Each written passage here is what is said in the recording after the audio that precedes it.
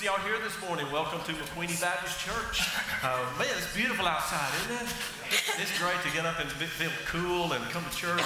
Uh, so I'm glad to be here. And I'm glad you're here as well. Just a few announcements we want to mention this morning. First of all, on the, the trunk or treat is coming up on October the 31st. Uh, I think in the bulletin on the back it says 6:30 to 7:30. That we need to change that to from 6 o'clock to 7 because we want to we do this before it gets really dark. Okay. Uh, so 6 to 7 on the 31st. Right now, there's two things we're needing. We're needing candy donations. So if you bring some candy so that we can have plenty of candy for the kids on that night, uh, there's a box in the foyer out this direction. If you'll just come and drop it there, that would be very helpful. The second thing is we're asking the people to help by decorating your car trunk. And the way this works, you just pull into a parking space, you decorate, open your trunk or the back of your SUV or whatever, and then you decorate it and do some maybe some kind of little game or something for the kids. They'll come around and, and walk by your trunk and you'll get a chance to uh, treat the kids. And so if you'd be willing to do that, sign up on the information table at the back of the church. Just let us know that you'd be willing to help out with that and be a part of that, and it would be great. Second thing is today we start our young adult ministry.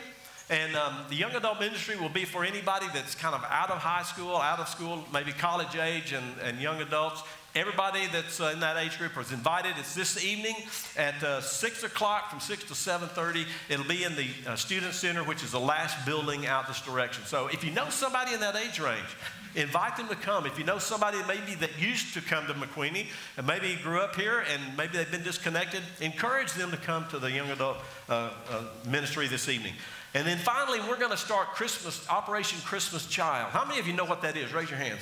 Okay, just about everybody here knows that uh, we decorate a shoebox uh, and send it to a child somewhere in this world that will not receive a Christmas gift. And we're going to start that next Sunday. Next Sunday, actually, you can start anytime you want. If you want to go and pick up a shoebox and go ahead and begin uh, uh shopping for that child, uh, although you don't really know, yeah, we won't know. I'm sorry, you won't know until you pick up the uh, names of the child, whether it's a girl or boy, if you're going to be decorating a box and setting it up for a child that's female or male. So that will start next Sunday. And we will have boxes here available. You can pick one up or you can pick up your own. The one thing that we're doing differently last year and this year is that we, we in the past, we had a packing party where we would buy all this stuff and have it here, and you would come in and walk through and pack the box. Uh, we're asking that everybody that takes a box or several boxes will simply take those, uh, for a boy or girl, go and shop for that child, pack the box and get it ready. We're not going to do the packing party. This will be something that you can do with your child or your grandchild and uh, encourage them to, as a way to help them uh, give of themselves, okay, and be a part of giving. And so that's going to start next Sunday. Hope you'll be in prayer about that and be a, a, participant in that. So this morning, it's good to have you here. It's great to be in God's house and to be alive and breathing and op- uh, with the opportunity to worship together. So I'm going to ask you to stand. We're going to do one more thing before we begin to sing together again. We're going to pray. Let's do that right now. Heavenly Father, we thank you for the beautiful day that you've given us. Lord, we thank you for the opportunity to come into your house this morning and to worship you, you, in spirit and in truth. And Lord, we pray today that the, the things that we sing, the words that we sing, would not just be words from our lips, but yeah. truly would be the, the, uh, the, something that comes from our innermost being, Bless from our heart. And we pray this today in Jesus' name. Amen. Let's worship together. There is a name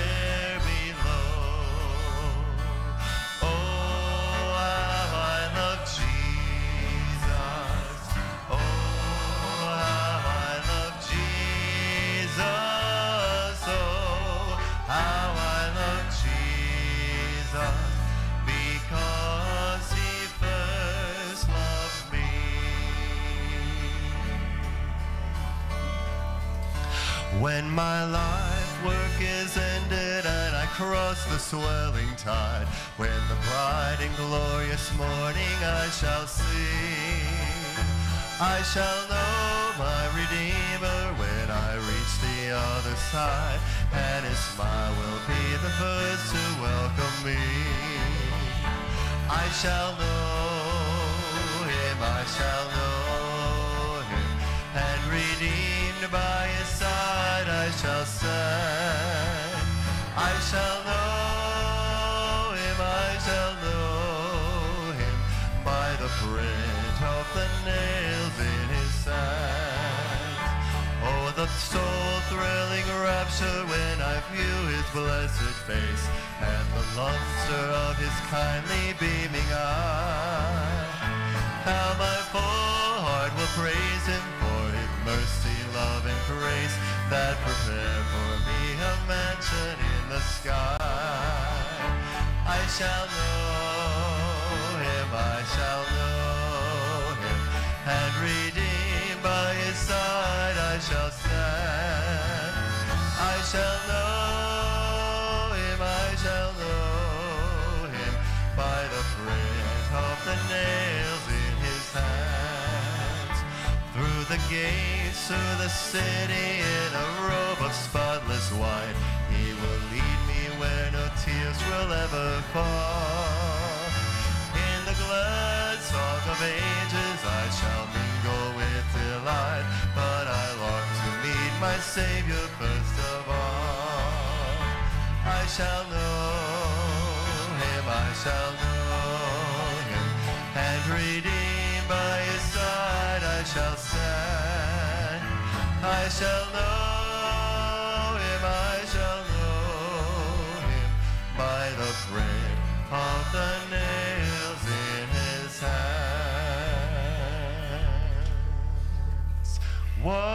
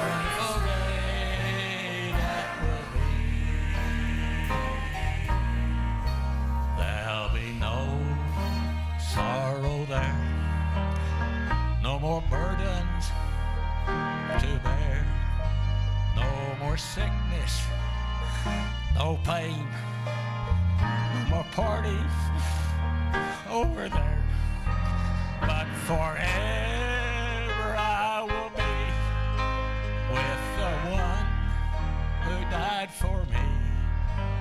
What a day, glorious day that will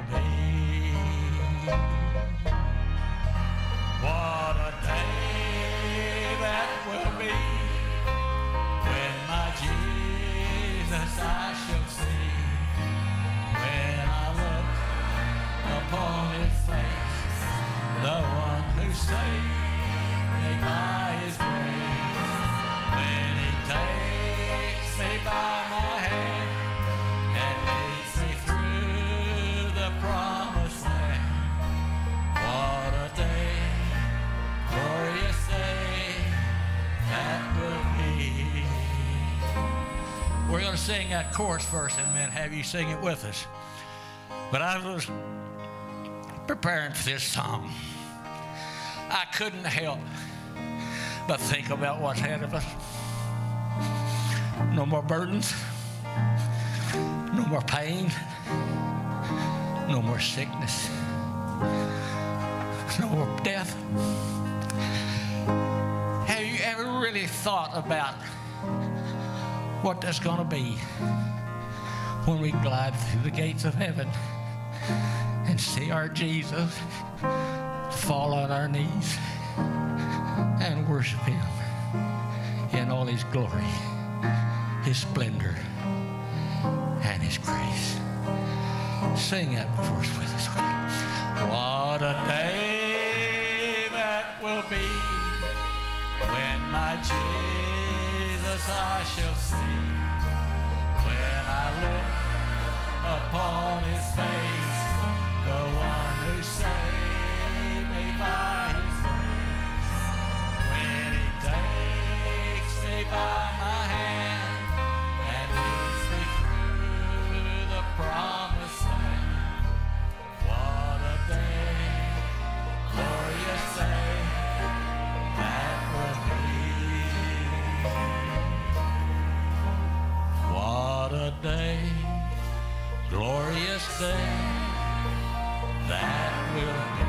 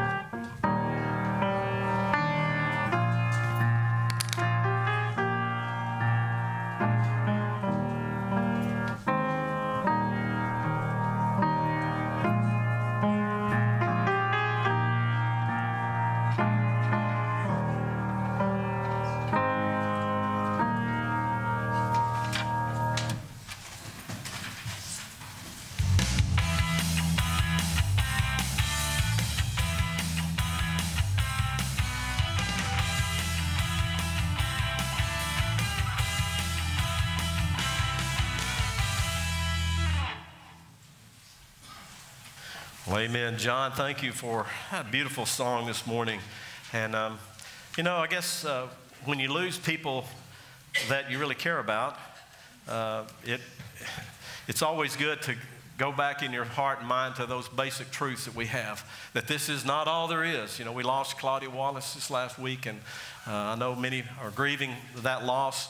But uh, we always stand in the, in the truth of the promise of eternal life, don't we? This is, this is not all that there is. So we've been talking in the last few weeks about truth. I mean, just kind of pulling apart what it means in the world that we're living in today. You know, how is truth being uh, held up? How is truth being attacked? How is it being pulled apart? We talked about several things. We talked about the post truth culture, which is basically to say that, that uh, there, is, uh, there is some absolute truths, but those absolute truths are always to be subjugated to our personal preferences. In other words, I know the Bible says this, but it doesn't really work for me in my life. Uh, that's kind of a post truth way of thinking. Uh, also, it has to do with the idea of how we promote our own agendas. So I know that this is what the Bible says. I know this is what we used to believe to be true. But even though that is some, there's some truth in that, this truth is to be kind of put backwards or behind my own personal agenda or the agenda that I'm putting forth in culture and in society today. So we talked about that whole concept of post truth. And then last week we talked about standpoint epistemology, talking about how. Um, our, our way to knowledge, how we gain knowledge, has to do with our standpoint or how we perceive things in life. It's based upon coming out of culture rather than coming out of the Word of God. Today, we want to talk about something I think is uh, tremendously important. So let's, we're going to roll this little clip. Go ahead. Got very good arms. He didn't fall? Inconceivable. You keep using the word. I do not think it means what you think it means. you keep using that word I do not think it means what you think it means. So, all through this movie, I don't know if you're familiar with The Princess Bride or not, but all through this movie, the, the, the villain continues to always say, inconceivable. He uses that word constantly, and finally, he, he gets kind of brought to task on that, doesn't he? I don't think it means what you think it means. Isn't that true in the world today? I mean, there's so many words that we use today that I'm not sure that they really mean what people think they mean. Um, I think about words like marriage. I think about words like, uh, like truth. I think about words like peace, love. All of these words are words that we know have a certain meaning to them, but in the culture that we're living in today, I'm not so sure that that's true. Words have meaning and words matter, don't they? I mean, isn't, aren't words the way that we use, the method we use, the only way that we have of communicating ideas? And so words really do matter. And so I want to start this morning by just pointing out uh, the reason that words matter. And, and we're going to look at this by looking at God's Word. God uses the Word to create. And that's in the very beginning, wasn't it? In the beginning, God created the heavens and the earth. We know that God created by His Word. And, the, and it says, uh, in the beginning, God created the heavens and the earth, and God said, Let there be light. And what happened? there was light. By the power of His Word, God created all that we see around us, including us. And so the very act of God of creation is done through His spoken Word. The second thing is this Christ has been revealed as what? The Word. Love John chapter uh, 1, verses 1 and 2. It says this In the beginning was the Word, and the Word was with God, and the Word was God. He was in the beginning with God, and the Word became flesh and dwelt among us. And we have seen his glory glory as of the only Son of the Father, full of grace and truth. The words we use matter tremendously. In fact, uh, we, we look to the Word of God to tell us the significance of words. And surely that is true. In fact, a basic principle of biblical interpretation, the, the official word for that is hermeneutics. Not that that's, you know, I've mentioned that word before and somebody says, Herman who? No, no, hermeneutics is the study of God's word. It's how we interpret God's word. And the biblical text, the words in the text, cannot mean something that the Spirit of God never intended them to mean. What does that mean? That means that we have to look into the Word of God and we not only see the words that are written, we not only read the words that are written, but we have to ask the question what do these words mean? And what do they mean by the Spirit of God that gave them to us? And one of the things we have to do in order to do that is we have to study what, what theologians and biblical scholars and most pastors understand is our biblical hermeneutics. We have to study the meanings of the words. And we have to do that by going back in time, looking at the context in which those words were used looking at the original meaning and how those meanings may have changed over the years so that we can understand what did God really intend for us to get by what he was saying and what he was having written down in his word. That's the importance of words. And yet today we're seeing in our culture, we've been talking about some of the things that are present and have changed in the culture that we're living in.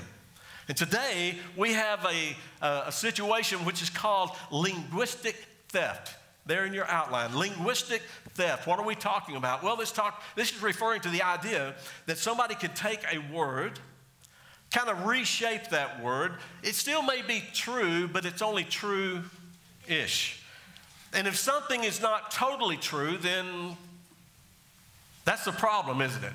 If, if we don't understand the word and what it means, and what happens is people are taking words and they're reshaping those words and applying them and using them in their own agenda so that when they, they use that word in their agenda, they can use that word then on their agenda to promote what they want people to accept. And we're seeing that everywhere around us today. In fact, uh, many of the words that we take for granted today are being, are being re, uh, redefined and used in, in different ways. Now, let me just mention we're not talking about you know, words do change over time. Have you noticed that? I mean, I, I, did some looking at some words that used to mean one thing, and today they mean something totally different, right? I mean, uh, we even have uh, the word uh, gay in one of our, uh, in, a, in a seasonal song that we sing, right? Yeah, let us don, we now our gay apparel. Well, I don't think I'm going to do that because it doesn't mean now what it meant then, okay? And so I'm just saying that words have a natural tendency to change over time, but we're not talking about that. That's something that happens naturally over time. But what we are talking about is something that is intentional and purposeful. It is something that is done with forethought and with intent. And that is to take a word and reshape its meaning. Linguistic theft. There are three steps to it. This isn't in your outline. I'm just going to quickly mention these. Uh, step one is to identify a core value that everybody accepts. For instance, let me take the word choice. We all agree that God created us and gave us the ability to choose, didn't He? That's called free will.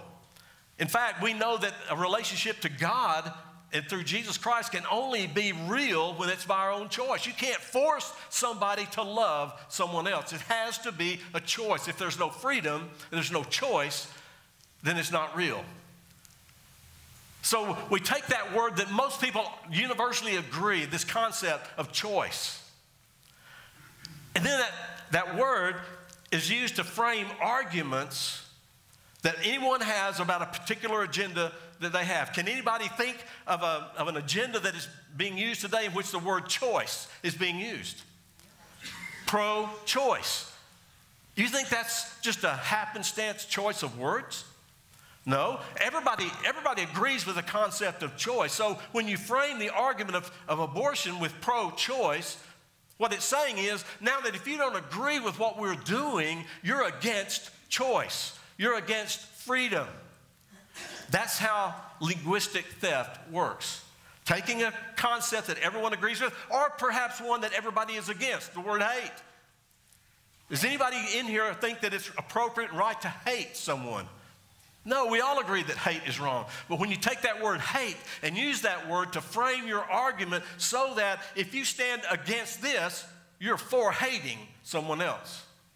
And that, that is what is happening in our, in our world today. And so, linguistic theft, words like marriage, love, justice, hate, equality, tolerance, male, female, all words that seem to be we have trouble defining today, or at least in our, in our understanding. Because they're words that are being redefined in the world that we live in today. Now, I'm not going to talk any more about that except to say I did include in your bulletin, there is a link that I printed there uh, to a very good podcast. It's on YouTube, actually. You can go, and it's a, it's a great, I think it gives a lot of more insight about this concept of linguistic theft and how it's done and what are the words that are, have been actually, this has been done to in our, in our society today. And you can go and, and watch that if you want to or not. It's, it's up to you. But we need to understand that that is what is happening in our world today. Now, I want you to look at 2 Corinthians chapter 11, verses 3 and 4 with me for a moment. Anybody else in here the last few days had a problem with allergies, coughing, sneezing? Yeah. One of the things it does to me is it makes my mouth dry. So, anyway. Okay, 2 Corinthians 11, beginning in verse 3. I am afraid that as the serpent deceived Eve by his cunning, your thoughts will be led astray from a sincere and pure devotion to Christ. For if someone comes and proclaims another Jesus than the one we proclaimed, or if you receive a different spirit from the one you received, or if you accept a different gospel from the one you accepted, you put up with it readily enough. Now, one of the things that I've kind of seen lately, too, is I actually believe that some of the terms that we hold very dear. In fact, some of the words in this very statement, let me mention a couple of them to you. Um, that uh, where it talks about Christ. You know, in the world today, even the name of Jesus, the person of Christ, people are trying to redefine who he is and what he is. So that when you talk about Jesus and you talk about Christ, there's a whole different meaning that they're using in the world today than what we would mean in a Bible believing church. Uh, so we talked about Jesus. Talks about a different spirit than the one you received, a different gospel.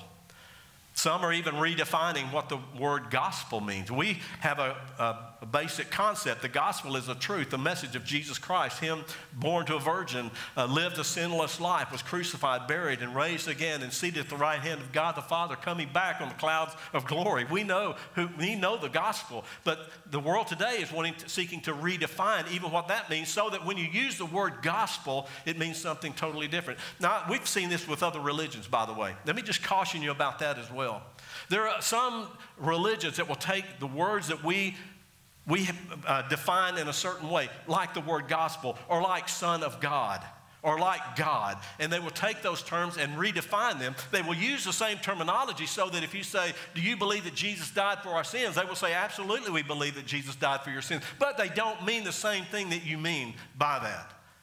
Okay? So we're gonna we need to look at all of this idea of how truth and words are communicated because it's important.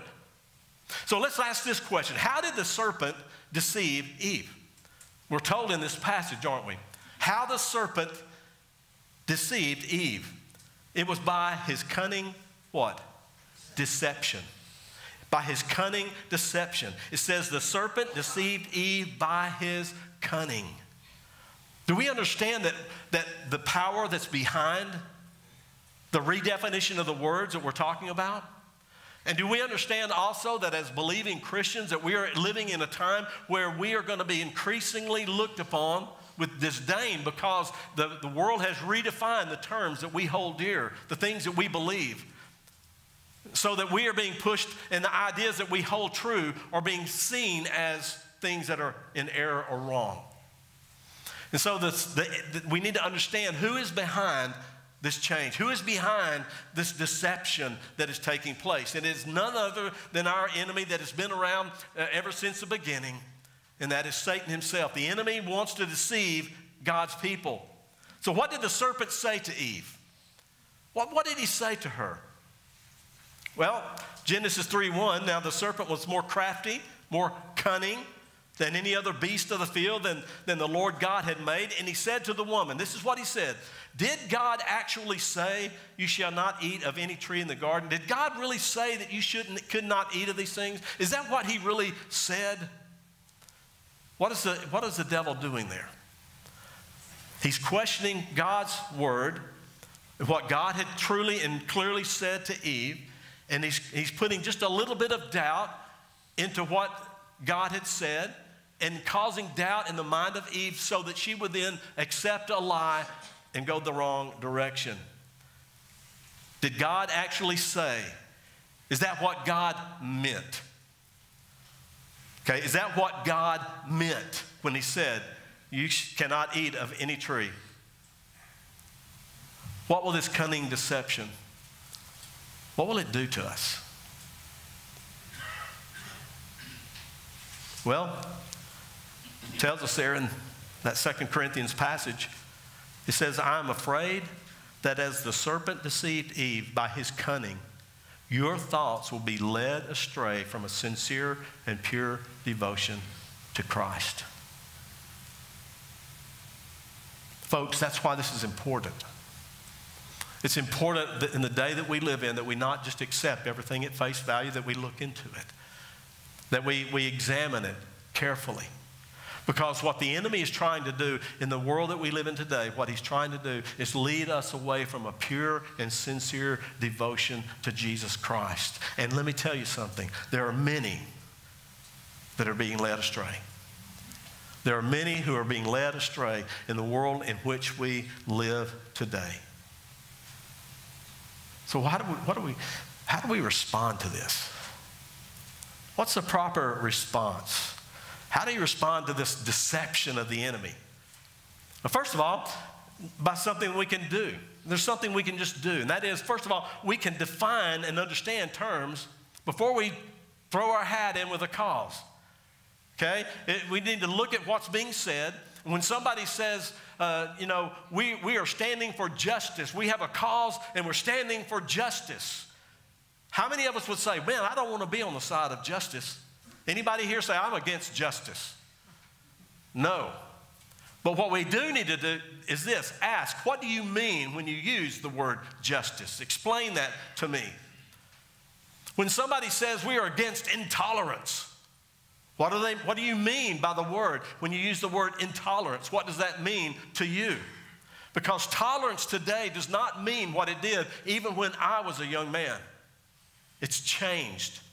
And so we have to ask the question, especially I think of our young people that are being inundated. For one thing, they don't have sometimes the solid foundation of what we learned in the past. And so this is all new to them. And when somebody begins to define these terms and call them to a, a, a cause of justice and righteousness, they think they're moving in the right direction. They think they're moving in the direction that God would have them to go, when in reality, they are moving in exactly the opposite direction.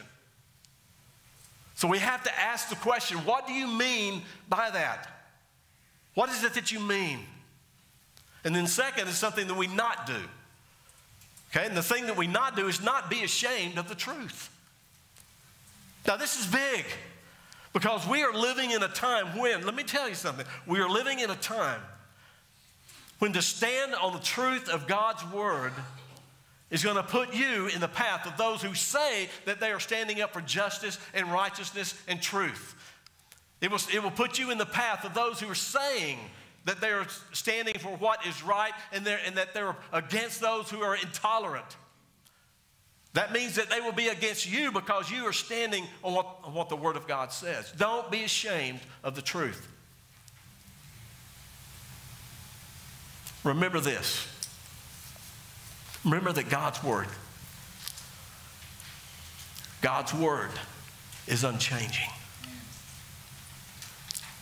And that should give us a great sense of confidence it should give us a great sense of relief that we don't have to we don't have to figure it out. All we need to do is see what the word of God says and the word of God is unchanging. It has not changed since it was given to us. Now, how it's written and sometimes the, the translations that we have uh, people are looking into it trying to understand the words and even how words have changed. That's why the King James language sometimes it's a little difficult because what was common English in the 1600s is not common English today. So we have to continually re examine, but always come back to the solid truth of what God's Word says. It is unchanging, it is the same, just like God, yesterday, today, and forever. It will never change. The second thing is remember that God's truth will stand the test of time. Now, let me tell you, I, I have to I've had to remind myself of that a lot in the last few years. I, I mean, I have. I've had to go, wait a minute, listen, I know that this stance on what the Word of God says, I know that this stance is not going to be popular in the culture that we're living in today. This stance that you're taking is not going to be looked upon with, as, as a positive thing in the society that we're in. And then I have to stop and say, okay, but if this is the truth of God's word, and I've delved into it, and I've looked at it, and I've asked the question, what does the Holy Spirit mean when he, when he inspired this to be written? Do I understand what the Holy Spirit meant when He inspired this to be written? And if I do, then I have no choice but to stand on that truth because it's the only thing that's going to stand the test of time. I'm telling you, all the lies and all the deceit and all the linguistic theft in the world is not going to overcome or overpower the Word of God. It will stand the test of time. You can trust it. Oh man, how I pray for our young people today. How I pray that they would get the Word of God firmly implanted in their hearts. Man, one of the reasons I love the Awana program, because the Awana program is all about planting the Word of God into the hearts of children. How I love our Sunday school program for our children, our young adults, and our, our teens because it is in those classes that they're going to be taught the real living Word of God, the thing upon which they can stand, the thing they know will be unchanging, the thing they know will stand the test of time. That's why it's important. That's, in, that's why it's important that we, and, and I look around and many of us, you know, in, the, in this auditorium this morning have gray hair. And some have gray, have gray hair underneath whatever the color is we have on it, all right? But that's okay. That's okay. We know we have a responsibility. And one of the greatest responsibilities that we have is to pass on the unchanging truth of God's Word to the next generation. That's our responsibility. 1 Corinthians, if you will, look at that. 1 Corinthians 11, 12 through 15. This is the Apostle Paul making his stand. And I hope we can stand with him. Listen to what he says. And what I am doing, I will continue to do. uh, 2 Corinthians, I'm sorry. Thank you for correcting that. Sometimes computers mess me up.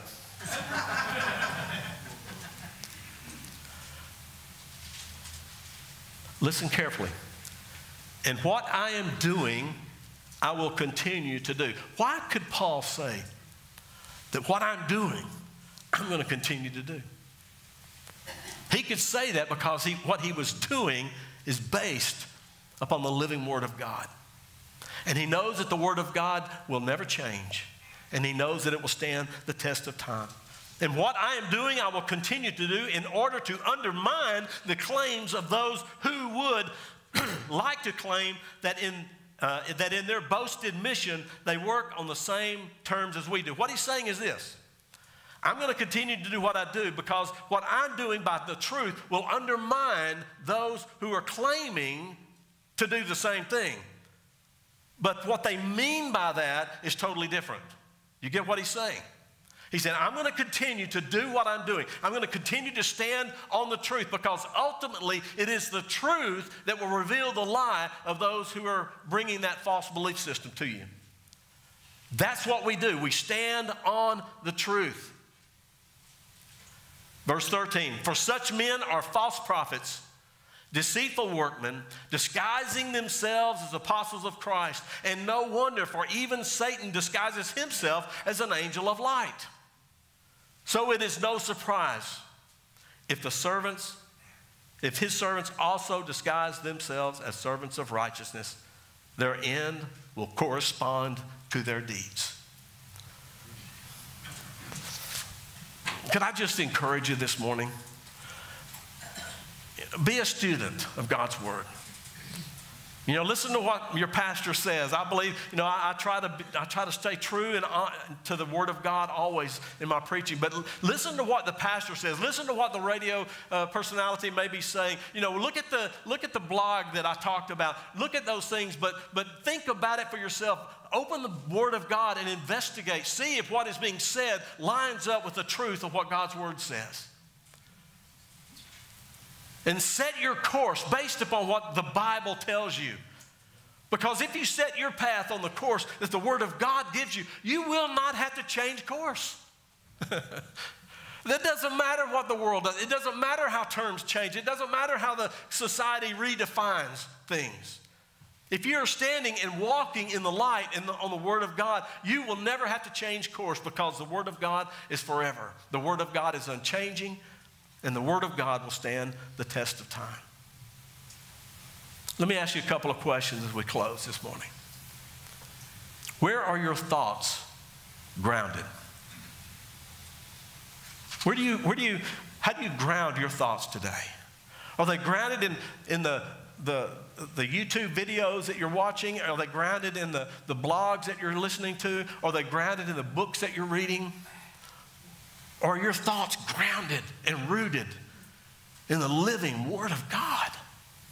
The unchanging Word of God that will stand the test of time. Where are your thoughts rooted? And let me ask you are you being deceived by the cunning and the deception of the evil one? Well, I don't think I am. I'm a Christian. I love God. I'm, yes, you do. But listen, if we're not looking, if we're not examining, if we're not comparing what we're seeing and what we're hearing to the living Word of God, then we're open to deception. We're open to the cunning of the enemy. Are you remaining true to God's unchanging Word and truth? If you ever hear your say saying, I, I know the Word of God says, but you're in trouble. I know the Word of God says, but no, you're in trouble. Remain true to the living Word of God. And it does not change. And He will see you through. Heavenly Father, we thank you for your love this morning. We thank you for your goodness and grace. Lord, we thank you that in, the, in a world of confusion, in a world of confusion that the enemy has uh, sought to distract us from the truth or to turn us from the truth. Lord, help us. Help us to not only engage ourselves, but also to reach out to and help and train those that are coming along behind the next generation. And Lord, might I say this morning, ask Lord, that in the world in which we live, we live today, we know that as followers of Jesus and as those who believe in the Word of God, that it's unchanging and that it's true. Lord, we will more than likely find ourselves in the path of opposition, slander, uh, words, things that, that are going to tear, seek to tear us down. And Lord, let us keep the peace of God that surpasses all understanding. guarding our minds and our hearts. Let us stand not with anger and hatred or violence, but just stand in the love and the righteousness of Christ and the truth that you've given us. Knowing, Lord, that your word will stand the test of time when all else fails. We pray this in Jesus' name. Amen. Would you stand with me? So go into this time of invitation this morning. If you've never trusted Christ as your Savior, if you've never said yes to Him, then I would plead with you this morning don't walk out of this church today. Don't walk out of this church today not knowing who Jesus is, who the Bible says that He is. Placing your faith and your trust in Him and having a relationship with God the Father through His Son Jesus. If you've never done that, I would love to pray with you this morning.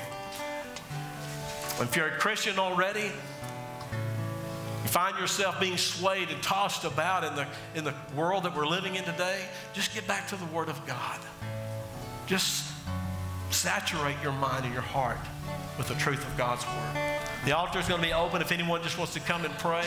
Any, any decision that you have, or if you would like me to pray with you, I'll be here. But as we worship together, this is your time to respond to what God is saying. Have thine own way,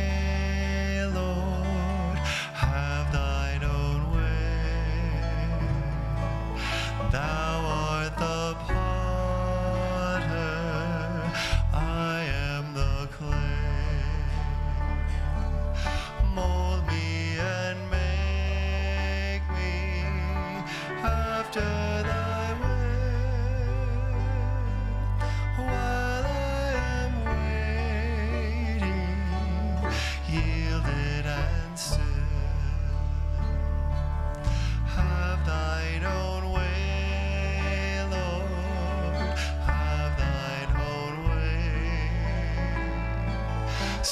Search me and try me, Master, today whiter than snow, Lord. Wash me just now, as in thy